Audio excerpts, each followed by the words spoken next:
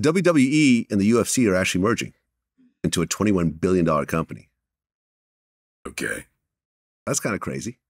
I don't know what that means though. I'm not sure what it means either, but I guess it's just two huge entertainment companies that are now mm-hmm. becoming one. And I guess because it's interesting how a lot of UFC fighters have gone to the WWE. That's natural. Ken Shamrock, who I interviewed, and he basically said that he's hurt himself worse than WWE than he did in the UFC. Pro wrestling is where I get more damage. I got more damage. MMA is an area where I was good, right? So when I went into a fight, I could finish a guy in a minute, two minutes, and on to the next. Uh, even when I had tough fights, I was good enough not to take damage because I'd take them down. I didn't get into the, the, the slug matches with people. I took them down, worked the submission game, less damage. When I went into a pro wrestling ring, I had to give them my body. Like, it wasn't like I could defend myself and stop them from slamming me. They're going to slam me because that's part of the program. Yeah, yeah, yeah. I can imagine. And I've heard this a lot. Oh yeah, yeah. You know what I'm saying? Like, like guys like New Jack messed himself up real bad. Rest in peace. He, he Mm. passed away, I think, since our last interview. Um, I just interviewed Jake the Snake. He was completely Oh, tore yeah, up. Yeah, man. I got good friends, um, really good friends. One of my best friends in the world is Ernest Miller, you know, Ernest the Cat Miller, Mhm. and you know, I I know firsthand with, uh, well, not firsthand, but through him, uh, that that lifestyle and the bumps that they have to take. Man, they have to they, they have to present their bodies.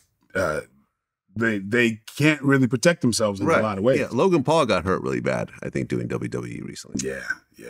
Yeah. Uh, Brock Lesnar, uh, Ronda Rousey, like a lot of people have had a lot of success. I mean, I- mean, Ken Shamrock went back and forth, I think. He was Yeah, yeah. UFC, WWE, back to the UFC, and so forth. I mean, listen, I understand there's a lot of money in the WWE. Yeah. I'm not really a big wrestling fan like that. I've never quite gotten the whole gist of it, hmm but I get it. It's big checks, but you have to really pay for that. Like I, I remember interviewing um, Jake the Snake. He was basically saying how at his prime he had to work like seven days a week, hmm and if he said he needed a break, you know, they would be like, "Okay, next, Who, who's the next guy in?" Yeah, but, But you yet- know, if you're in MMA, you only do it what once, twice a year. Yeah. In wrestling, you're doing it seven days a week. That's right. You know, and everyone's expected to take steroids. You know, everyone's expected to be huge and Yeah. perfectly fit, and you know, and so forth, and constantly be on tour. Yeah, I mean, listen, I'm I'm glad I never got into WWE. Like th- that seems. I understand that you could make a lot of money and there's some fame, but it just seems like everyone walks away just completely messed up. Yeah. I mean, uh, I, I, my heart goes out to people like that. that like I said, that's our modern day gladiators, or the UFC guys, fighters, hmm even you know the, the wrestlers.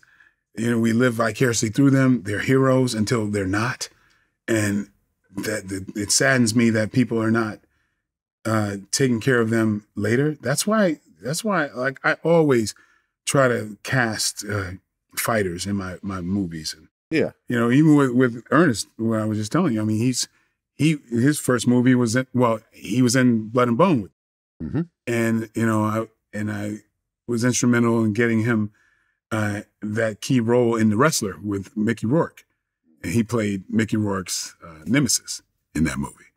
But I'm I'm you know, I'm, but I've known Ernest since man since the late '80s, where we trained together way back then. But yeah, that's that's a harsh lifestyle, uh, and it's unforgiving. Yeah. yeah. It- it- you know, I, I even watched this series, uh, Dark Side of the Ring. Oh yeah, yeah, yeah. I, I've watched a bunch of them. Yeah. Yeah, it, it's it's something. It's something.